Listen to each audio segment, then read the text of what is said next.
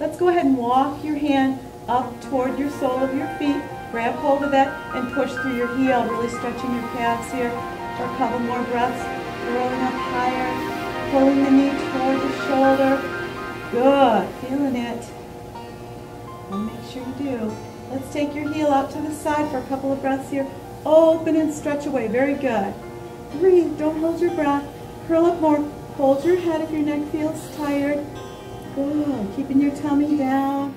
Straight up, pull the shoulders up till they touch the ears, clasp the fingers and just push through the heels and stretch the belly. Feel your belly stretch right up through the center. Oh yeah, another breath here, really nice. And now we press out, pushing as we resist. Counter resist, press the shoulders into the back. You guys are getting this.